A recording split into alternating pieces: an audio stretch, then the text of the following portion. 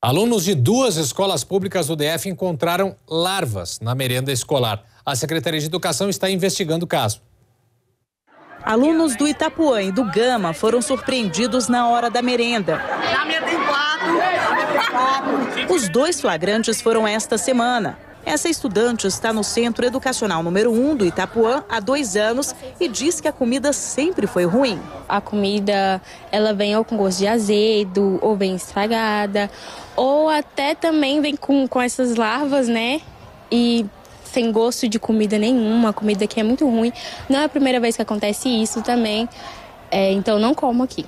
Eucilene é mãe de um aluno do SED 1 e ficou indignada com a situação é a falta realmente de respeito com, né, com, com os alunos, mães que geralmente não têm o tempo para poder estar tá mandando, ou dinheiro realmente para poder estar tá mandando um lanche por, por eles.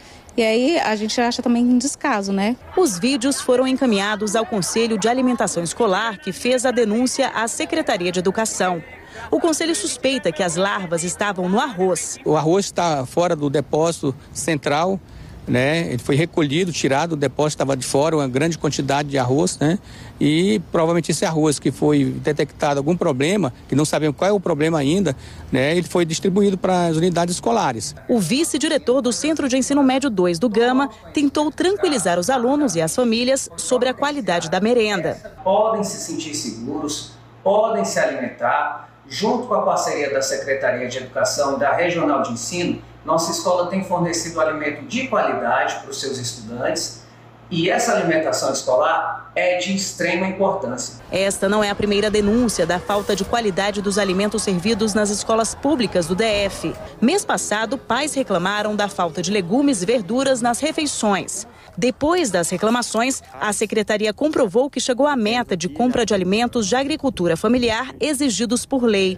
O Sindicato dos Professores cobra que seja cumprido o que está no cardápio das escolas. É um absurdo o que está acontecendo com a merenda escolar na capital do país. E não são casos isolados. São alunos do integral levando marmitas porque a refeição servida na escola é insuficiente.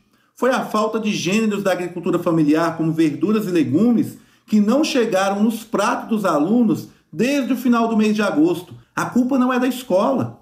O governo que precisa adquirir produtos de qualidade e entregar todos os itens que estão no cardápio para as escolas, para aí sim garantir uma alimentação de qualidade. Os alimentos já foram recolhidos das escolas. A Secretaria de Educação disse que está tomando todas as providências necessárias e já mandou retirar o lote de arroz do depósito central. Eu fui pessoalmente na escola, conversei com as merendeiras, apliquei o mesmo procedimento que apliquei no 102 a gente vai abrir um processo para apuração de responsabilidade. Já conversamos com a empresa e tudo mais.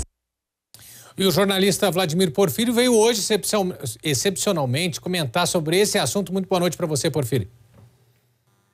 Boa noite, Porta Nova. Boa noite a todos. A gente sabe que essa denúncia sobre as escolas que servem arroz com ovo, conforme mostramos na reportagem aqui, chegou aos ouvidos do governador Ibanez Rocha, que ficou furioso. Segundo fontes com acesso ao governador, ele passou o pito em meio mundo, evitando espalhar a brasa.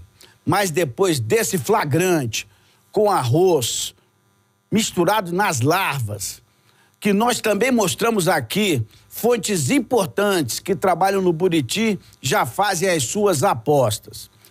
Quando e quem o governador vai demitir para resgatar a qualidade da merenda servida no seu primeiro governo. Inclusive, a gente se aprofundou nessa história e descobriu que não é por acaso que essa denúncia de arroz com verme caminha junto com outro caso que investigamos sobre toneladas de arroz sem condições de consumo, contratados pela Secretaria de Educação e que acabaram de ter de ser removidas do depósito. Eu troquei mensagens com o secretário executivo da Educação do GDF, o Isaías Aparecido da Silva, para ouvir a defesa dos responsáveis por essa situação. E ficou claro que o arroz com verme das imagens que mostramos também foi fornecido pela empresa das toneladas de arroz devolvido.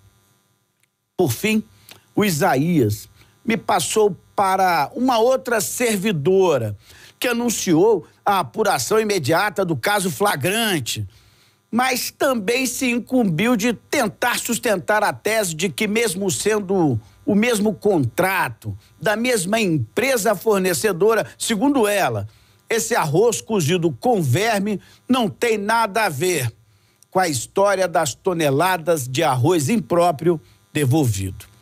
Com a palavra, o Tribunal de Contas e o Conselho de Alimentação Escolar, que, diga-se de passagem, já mostrou que está atento e que não vai se intimidar.